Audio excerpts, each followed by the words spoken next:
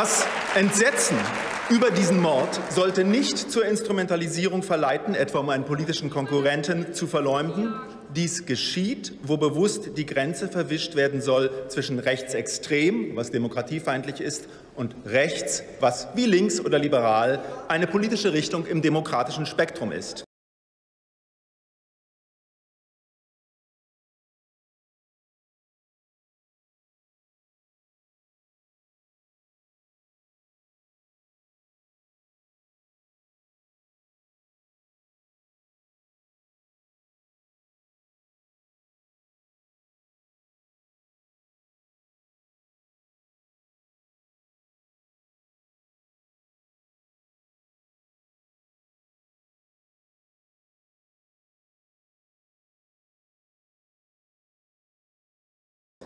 Wie verteilen sich nun die Straftaten gegen Repräsentanten von Parteien? Im ersten Quartal 19 gab es 217 davon, 114 gegen die AfD, dann 21 gegen die SPD, 19 Grüne, 16 Union und so weiter. Das passt nicht in die Erzählung, die jetzt aufgebaut werden soll. Warum nicht? Weil diese Zahlen mal die Realität sind, meine Damen und Herren.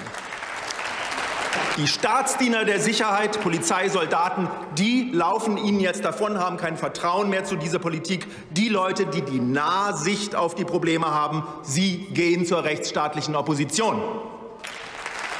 Wenn Politiker wegen ihrer gebotenen Kritik am Regierungshandeln in Mithaftung genommen werden sollen für Gewalttaten, dann ist das parteipolitischer Missbrauch eines Mordes. Wenn der Bundestagspräsident sagt, menschenfeindliche Hetze ist Nährboden für Gewalt, wer ihn dünkt, macht sich mitschuldig, sagen wir, wer berechtigte, auch fundamentale Kritik an fundamental falschem Regierungshandeln übt, tut nur dies, und macht sich nicht schuldig. Der aber, der Gewalt ausübt, ist selber allein schuldig. Schluss mit der infamen Unterstellung dieser Anstiftungspsychologie, die lediglich Kritik knebeln soll. Die Bürger lassen sich solche Maulkorbdemokratie nicht gefallen. Wir verteidigen hier und heute auch Millionen Bürger gegen die Beleidigung als Menschenfeinde, Hasser, Hetze. Dieses ganze wohlfeile Verleumdungsvokabular, nicht Ausländer werden gehasst. Unsinn.